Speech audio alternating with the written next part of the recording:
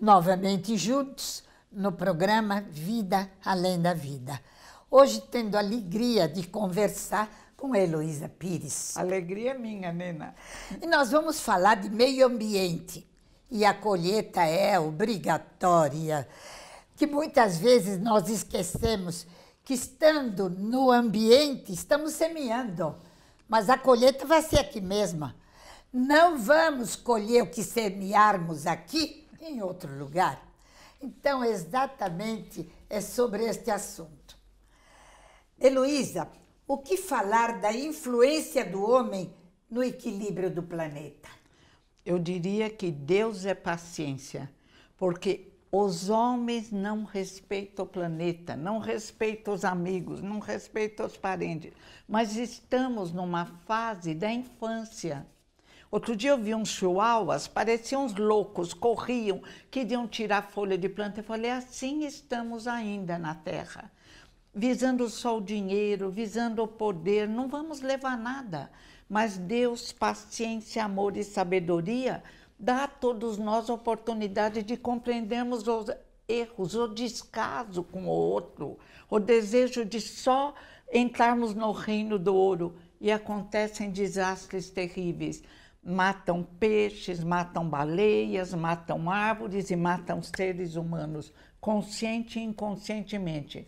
Mas existe a cidade dourada, como diria Mário Quintana. A cidade escura causa repugnância, mas existem os que trabalham em nome do amor. Existem ONGs honestas, existem indivíduos descobrindo a felicidade de agir corretamente. Então, são duas cidades uma cidade escura de dirigentes que não dirigem e outra cidade dourada de indivíduos que respeitam o próximo, que trabalham pelo próximo.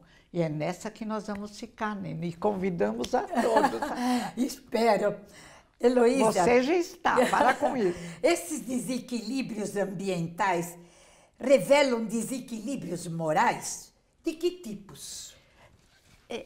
Nós pensamos, envolvemos o nosso querido planeta em nossos pensamentos. E se existem ondas de luzes misericordiosas, nós criamos muitas vezes alguns ondas sombrias e tristes. E essas ondas sombrias e tristes, é claro que desequilibra o planeta, porque estamos todos interligados, mergulhados na energia cósmica universal, no pensamento de Deus, diz André Luiz em Evolução em Dois Mundos. Deus é amor, é misericórdia, mas na medida em que não atendemos à evolução, chega a dor para abalar os corações. A dor que nos parece cruel, mas que é produzida por nós mesmos, como diz a Gênese de Allan Kardec no capítulo Bem ou Mal. A maioria das dores é criada pelos homens. Hoje, os desequilíbrios ambientais, vários problemas, as doenças, talvez até o câncer pelo excesso de agrotóxicos, por pensamentos desequilibrados, ou conseguimos mudar o nosso modo de ser, pelo menos a maioria, ou teremos que, por lei de afinidade, reencarnar em planetas primitivos? Heloísa, uma pergunta você respondendo isto. Tudo tem um preço aqui na Terra. Qual é o preço da vida aqui? Da vida? É, porque a pessoa, nestes desequilíbrios, parece que não valoriza não. a própria vida. Não valoriza, não valoriza. O próprio Trump agora diz que caçou dos cientistas que aquecimento global no meu país está abaixo de zero. Ignorante. Eu tenho a impressão de que quem vem auxiliar o espiritismo é a ciência. Ah, a ciência ser. caminha, queiramos ou não, está caminhando. E vão descobrir já estão falando cardiologistas, médicos de clínica geral, a importância do nosso pensamento. E vão descobrir como a nossa ação sobre o planeta acaba com ele. E ainda a reencarnação provando. Agiu errado, consequência, como você falou no início, vai nascer num planeta em desequilíbrio, como nós estamos agora. O plano espiritual recebe esses impactos físicos e morais e como ele reage, por exemplo, quando o plano espiritual acontece uma tragédia aqui na Terra, por meio que a culpa, a responsabilidade é dos incautos, como é que o mundo espiritual recebe isso? O superior segue os ensinamentos de Jesus. Perdoai não sete, mas setenta vezes sete. São tolos, são crianças tolas. E mesmo os superiores já fizeram coisas erradas no passado. Estamos nos construindo. Agora, podíamos nos esforçar um pouco mais. Porque é velho já o Jesus planeta. veio há mais de dois mil anos. Antes vieram Buda, veio Sócrates, sacerdotes egípcios, druidas. Todo mundo convocando ao respeito ao amor. E século XXI ainda estamos andando com dificuldade. Eu considero assim: civilizações luminosas foram para dimensões melhores. Indivíduos maravilhosos velam por nós. E o povinho mais necessitado existe os medianos. Caminhando com dificuldade, existe os atrasados, que se expressam em revoluções, matar os outros, o próprio Trump enjaular crianças. Então, é um planeta onde duas espécies de alunos estão caminhando para que cada um consiga discernir melhor o certo do errado. Agora, por exemplo, na recente tragédia de Brumadinho, em Minas Gerais, a quem atribuir a responsabilidade? Ao meio ambiente? Ao homem que não respeitou o meio ambiente? É lógico, é claro. Eu vi um programa até do Ratinho, me mandaram um pedaço, um videozinho, onde o Enéas, aquele Enéas, aquele que se candidatou, Ah, que sim, falava sim. na bomba, ele já falava que estavam vendendo a Vale para homens riquíssimos, nem eram brasileiros, não sei se é verdade, e que esses homens destruiriam o Brasil porque eram egoístas. Como no tempo e no espaço alguns empresários se expressam dessa forma, pensam que são eternos e imortais no corpo físico. E deu no que deu. Ambição? Ambição, Dinheiro? dinheiro, Poder? ficar com o dinheiro. Você viu que Mariana aconteceu, nem indenizaram aqueles que perderam a família. Pois é. Agora, e por ninguém exemplo, fala nada. você falou Mariana, há três anos o que aconteceu de Mariana. Agora, novamente em Brumadinho. Brumadinho. E sabe-se que centenas de barragens no Brasil não apresentam estabilidade garantida e podem vir a causar tragédias. Por trás dessa negligência está a busca de lucro, ambição, desrespeito, o impedimento disto. Quer dizer, a responsabilidade, como nós ficamos brasileiros. Diz que Deus é brasileiro, podemos acreditar nisso? Acredito que Deus seja brasileiro, porque o bom pai deixa os filhos construírem seu conhecimento, Piaget. Nós temos já, depois de mais de dois mil anos, condições de agirmos de forma melhor. Agora, aí os bons que estão no meio dos maus, porque não eram bons até ontem, porque também não sei se somos tão bons. Eu tenho horror de cargo, de poder, por quê? Porque nós não sabemos as nossas sombras interiores As limitações, as limitações. que temos, né? É. Agora, essa turma quer dinheiro. Lembra um que encheu um quarto de dinheiro? Não vou falar o nome por caridade. Lembra outro que andava com uma malinha com 500 mil reais para entregar para outro? Tem mais gente processada no Congresso do É. que na cadeia. Mas veja bem, é exatamente, talvez nós mesmos, estas crianças, como você diz que somos, e que realmente somos, em Somos. questão de espiritualidade, não teremos que providenciar alguma coisa para que estas leis possam ser mudadas? Até estamos melhorando, mas veja na França os coletes amarelos. Eles agem, eles reclamam, eles atuam. O brasileiro faz o quê? Agora, muito comodista, fica preguiçosamente no computador ou no celular. Precisa ter coragem, fazer passeata, gritar. O Senado depende de Isso nós. é democracia. Isso é democracia. E é E, e que continue a democracia mesmo com seus defeitos. Porque Venezuela nos aconselha a não adotarmos sistemas ideológicos esdrúxulos. Agora, é um aprendizado para nós todos essas tragédias pela irresponsabilidade e desrespeito realmente ao meio ambiente. Nós estamos falando da grande que aconteceu.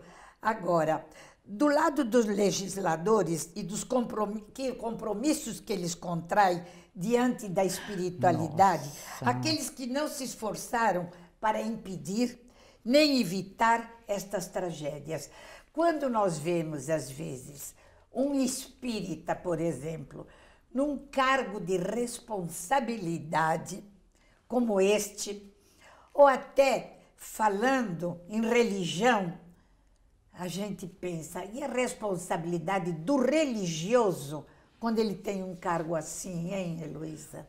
Leon Denis fala num dos seus livros, ele diz assim: Nós nos púlpitos jogávamos sombras nas multidões, mas não sabíamos que as sombras nos envolveríamos e que teríamos séculos necessitando de despertar. Vamos a um breve intervalo e voltamos em seguida. O programa Vida Além da Vida tem o apoio cultural da Livraria Espírita União. Adquira estas e outras importantes obras na Livraria Espírita União. Sempre as melhores publicações espíritas do país livros de todas as editoras espíritas, descontos especiais para centros espíritas, associações, livrarias e clubes de livros. Livraria Espírita União, Avenida Rangel Pestana, 233, ao lado da estação Sé do metrô. Voltamos hoje falando com Heloísa Pires. Porque as maiores vítimas quase sempre são os menos responsáveis diretamente. É. Pelos acontecimentos que muitas vezes surgem, como esses das barreiras, por exemplo.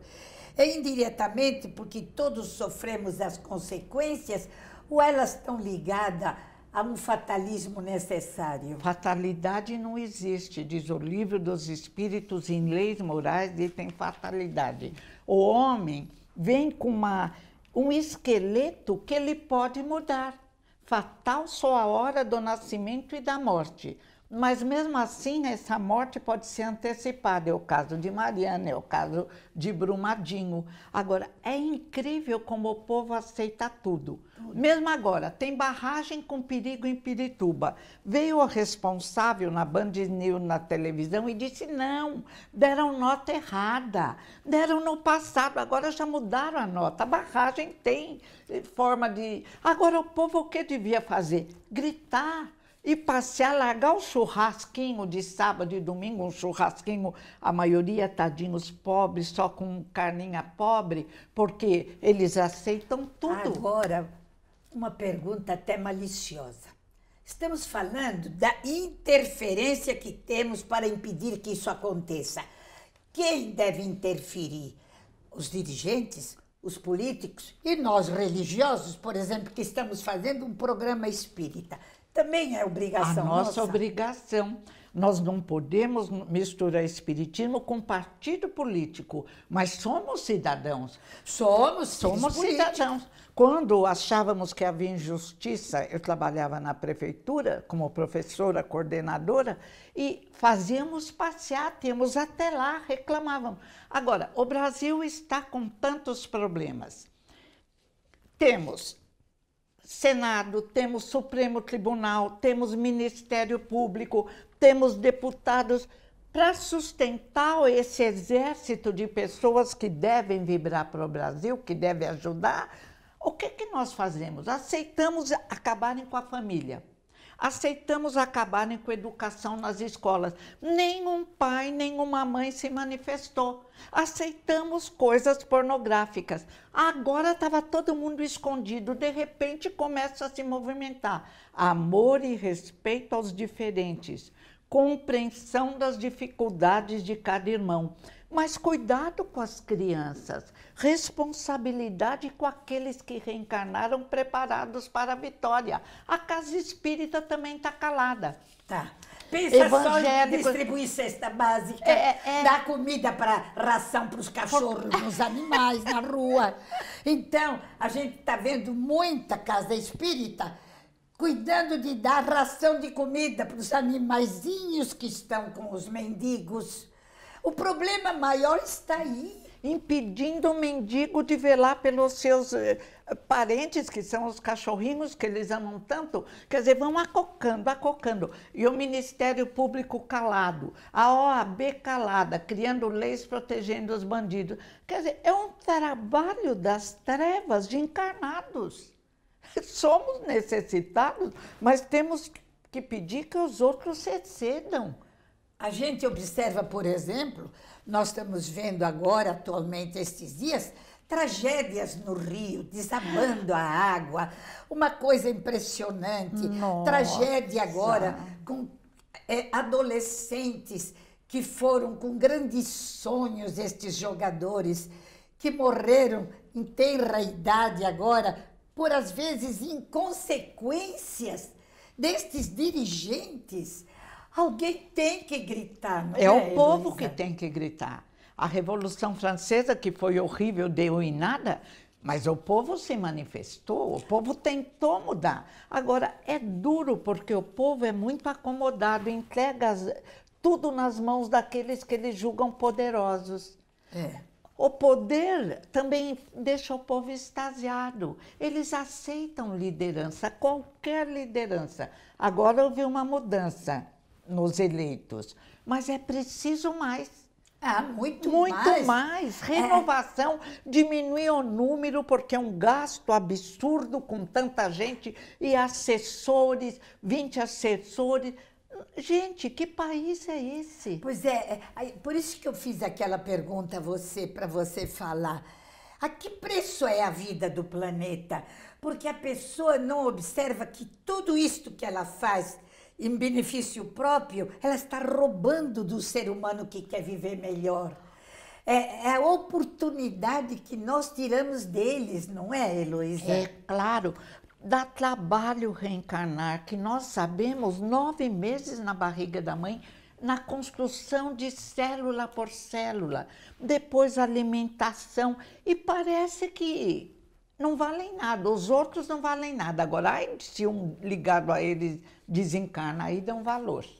Tem, é exatamente quando diz assim o povo, "Ah, ah, precisa esperar morrer uma pessoa importante para que alguém se mexa.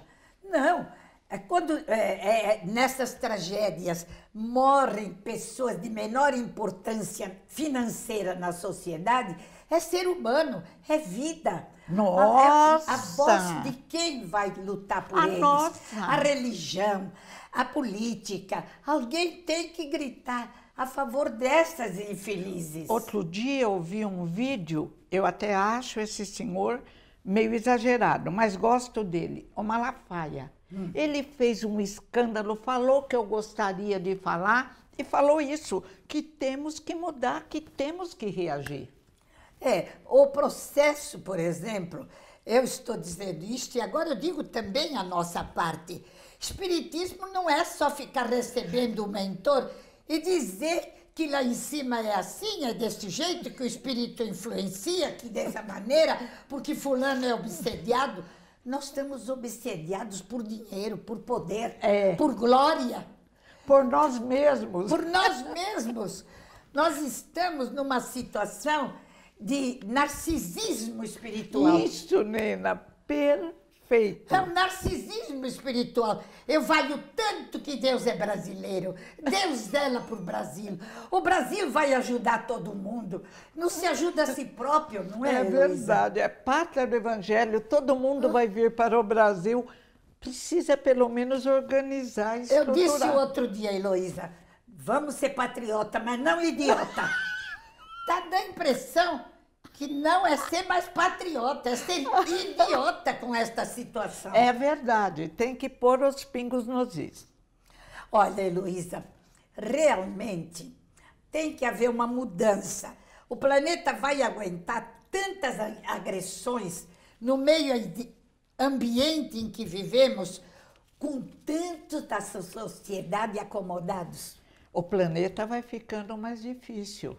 As mudanças de temperatura, a capacidade de ter trabalho. Olha o número de pessoas que abandonam o próprio país e saem pelo mundo desesperados, sem casa, sem nada e às vezes aguentando perseguições. Não era mais fácil quando, por exemplo, um país fica desorganizado como a Venezuela, todos os países que podem mais se unirem e ajudar a Venezuela e colocar um limite no chefe desequilibrado para o povo continuar lá. Não, ninguém liga, eles saem, coitados, perde casa, perde tudo, perde, perde saúde. Quer dizer, e ninguém fala, ah, vamos fazer, vamos.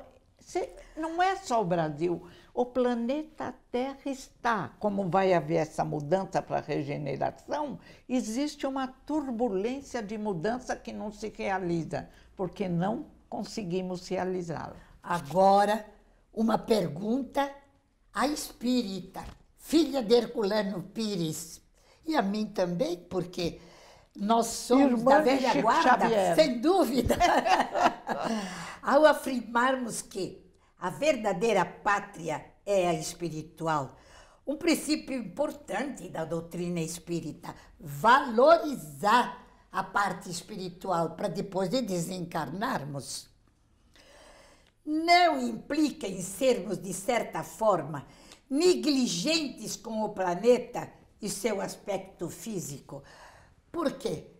Rezando e rezando no Casa Espírita, sem tomarmos essa posição de defesa ao planeta, às leis, às criaturas, não é também uma negligência nossa? Demais, é uma negligência. Porque se não fosse importante a reencarnação na Terra, Deus a não criaria. Não, e é... nem enviaria Jesus para nos ensinar a viver na Terra, que é onde vamos aprender a nos transformarmos em seres universais.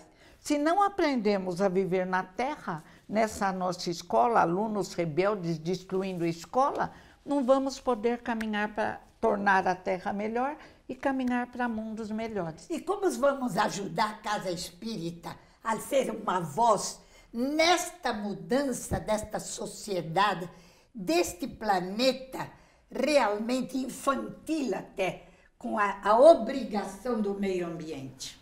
Nós vamos ter que fazer a nossa parte, orar e entender que Jesus, com toda a sua grandeza, o homem ideal, o espírito ideal maior que veio à Terra, espera dois mil anos para que nós consigamos compreender o que é amar ao próximo como a si mesmo. Heloísa, podemos afirmar que o nosso modelo de consumo e de exploração dos recursos naturais do planeta está falido? O que seria o ideal? A quem competiria mudar esta estrutura para melhor? Perfeito. Está falido a exploração também, porque visa só auxiliar um pequeno grupo e visa prejudicar o planeta, o que é uma ignorância terrível. Agora, temos que pensar uma coisa: tem os revoltosos falando em ideologias que vão mudar o homem. O que muda o indivíduo da Terra é a educação. Só é a, a escola, é a religião, como diria Jung, desenvolver a espiritualidade. E o espiritismo tem condições logo aliado à ciência oficial, de auxiliar na grande transformação do nosso planeta. Nunca ideologias revolucionárias ou materialistas, sempre Jesus em nossos corações, em nossos atos e com nossas crianças. O programa Vida Lida Vida chegou ao seu fim, mas nós vamos continuar no assunto a semana que vem com a nossa Heloísa. Não nos, nos acompanhem. Até a próxima semana, se Deus quiser.